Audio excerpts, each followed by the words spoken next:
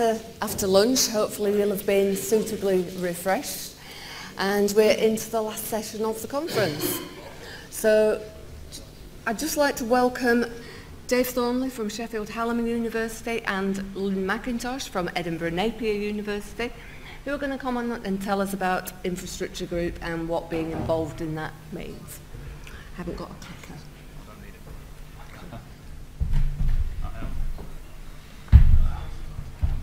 No, um, no slides, no death by PowerPoint for this one, I'm afraid. Um, so this is the, the, this is the part of the agenda where we like to take the opportunity to big up the infrastructure group. Um, and it's very often a fairly transparent attempt to draw some new members into the group. We like to have a new blood and a bit of new commitment um, coming in every so often.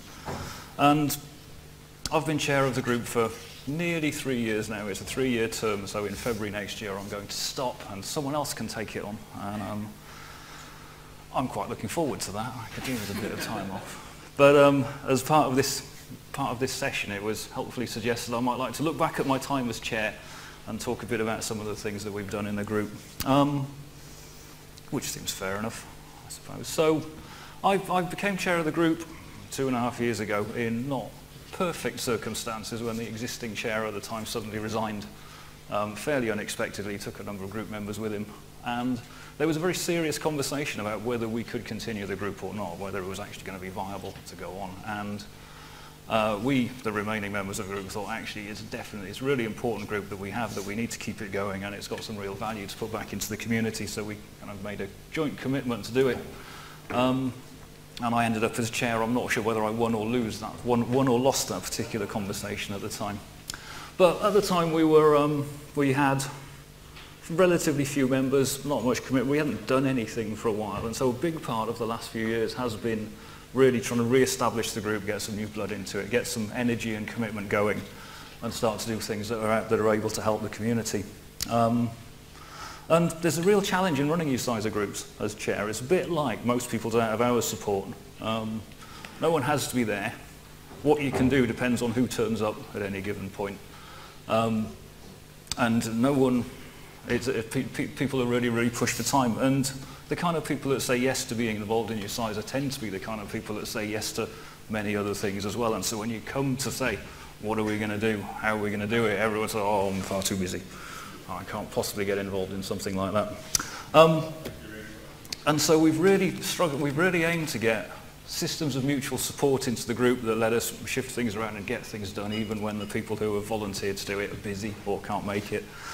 Um, and we've got, the new, we've got many new members. Like one of them, Lynn, is going to tell you about how she joined the group and what she thinks of it in a couple of minutes' time. And over the past couple of years, we've really worked on getting it together. And so this year has been probably the biggest, busiest year we've had as a group since I've been on it, which is probably about eight years now, I think. Um, and I'm really proud of being part of that. So we've turned this into an annual event, which is fantastic. Not many people, because this is, you know, no one has to do it. This is our hobby, if you like. Not many people would try and do something like this as a hobby. Um, um, the ones that do are probably semi-certifiable, I think. So we're, um, we're good with that. We ran a, a one-day event in May about security, and we're going to come back to that next year. That's a topic that we think is a great, great value and great interest to the, to the community. So we're going to keep trying to run that one as an annual event. Um, one of the areas Lynn will talk about is our first paper that we're publishing ever, I think. And we've got one more thing to do this year that we're kind of committed to. We talked about it yesterday, which is getting a survey out, um, which will start to give you a list of who's running what to do with infrastructure across the community. So if you want to know someone running HP servers with compelling storage on an extreme network, you'll be able to look down the list, find out who it is, and phone them up to find out, find out what it's working for them. So coming to the end of being chair, I'm very proud of what we've done. It's been a fantastic opportunity to get involved in, um, in rebuilding a group and doing some really exciting stuff for the community. It's been really hard work, I'm not going to lie about that, but I think it's been entirely worthwhile. And um, whoever gets it next has got a great group to come and work with and a fantastic opportunity. And now I'm shutting up. Thank you. Um, Lynn, come and talk about that.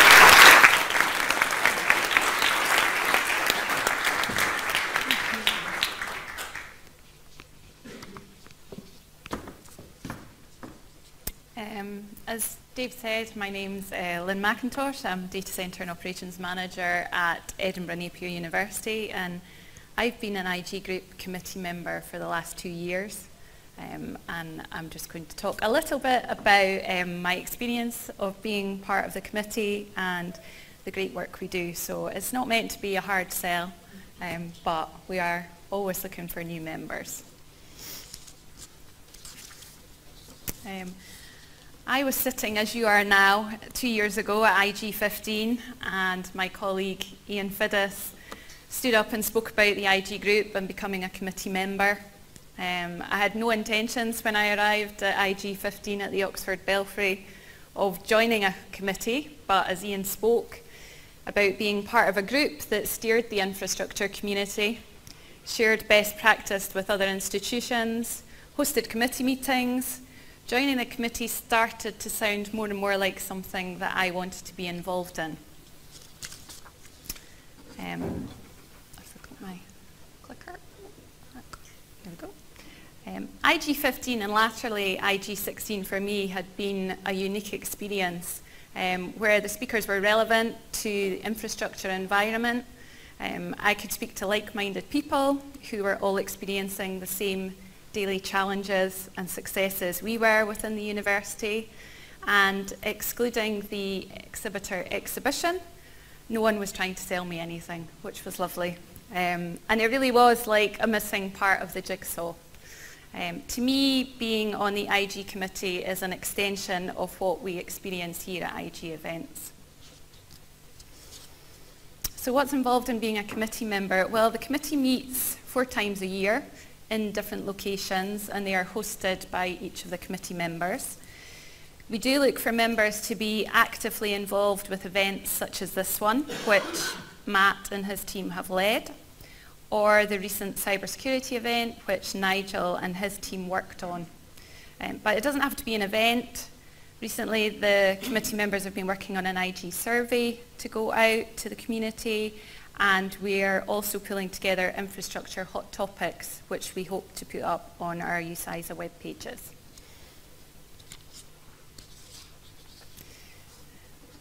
The IG group recognises that there's a commonality of issues across the sector.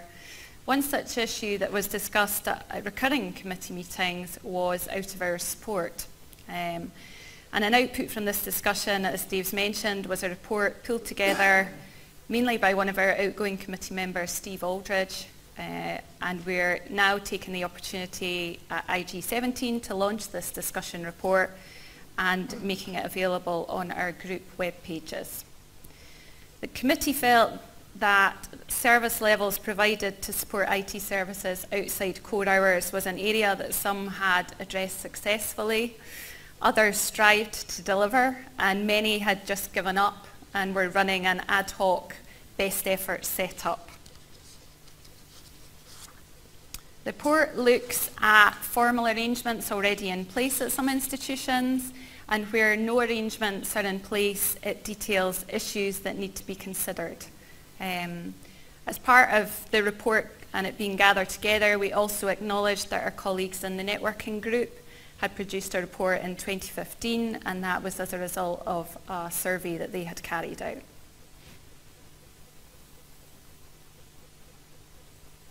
Nope. Yep. Here we go. Um, so I'm going to briefly share with you the arrangements we have in place at Edinburgh Napier University. And these, along with other institutions set up, contributed to the discussion report. So at Edinburgh Napier University, we have a formal, I'll say in inverted commas, um, out-of-hours support policy. Um, we have a standby and call-out policy, which was originally created in 2008 it was revised in 2010 and is due for its next revision this year. Uh, its purpose to improve the availability of key services beyond core hours. Um, and within our out-of-hours support policy, the commitment to fix faults is on a best endeavours basis. Um, we don't support every service, but we have a list of key services that are covered by out-of-hours so as you would expect, our VLE, our email service, our data storage, and there's a few others that are in that list. Um, we've pulled together key technology groups and one member of staff from each group is on standby. Uh, we publish rotas for each tech group. They're available in SharePoint calendars so they can be accessed on and off prem.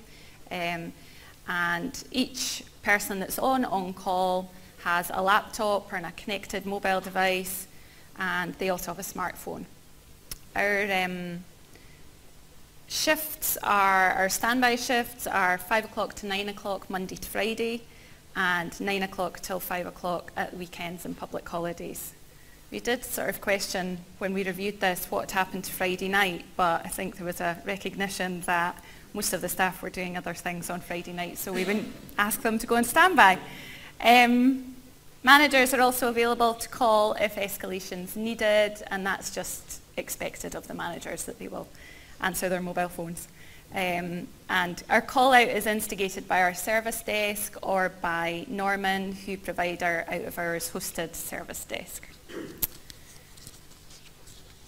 We pay our on-call staff and we have different rates for standby and call out. Um, our call out is uh, surprisingly, and I should find some wood, touch wood, touch something, um, not used terribly often. We're very fortunate that our services remain up. Um, so Edinburgh Napier setup's just one of the many that we looked at in pulling together the IG discussion report on hours support. Um, I'd encourage you to visit the pages as the report is both thought-provoking and it could help point you in the right direction or simply start a discussion within your institution. So to conclude and let you all prepare for the next speaker, uh, a role on the IG committee is about making the group relevant and work for the community. Um, if you'd be interested in being part of that and joining a genuinely great group of people, then please speak to myself or any of the committee members who are here, and there's people. Yes, there they all are. Um, in the, over the next couple of hours. Alternatively, our details are all on the IG group UCISA pages. And one last. Uh, finally, as Dave's mentioned, he's stepping down after three years as chair of the IG group.